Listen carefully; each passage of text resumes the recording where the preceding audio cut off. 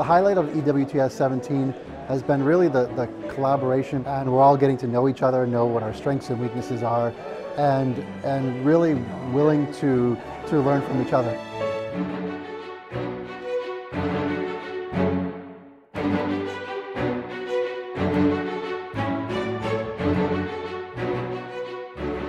It has been a tremendous group that they've brought together from uh, industry experts to hardware to software and really seeing how it's being applied and used and being tested. For me, it's just about the networking. I mean, in one place, it brings together all the people that I know throughout the industry, uh, that I need to talk to, that I want to talk to, all the cool new vendors that I want to meet with.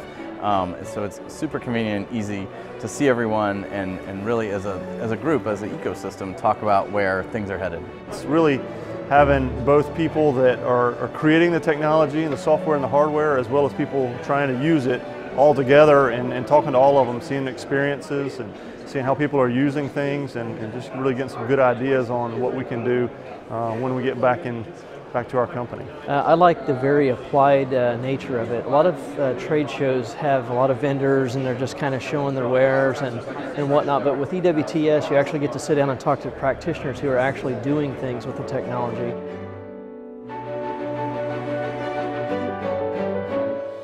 Technology mosh pit.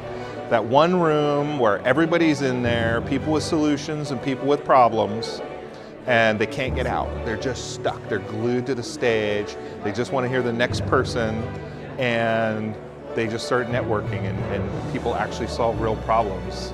You can go to conferences where you wander halls and you wander exhibit areas and you're actually better off most times staying home and reading about it on the web this conference, if you're not here meeting people, you can't get this experience anywhere else.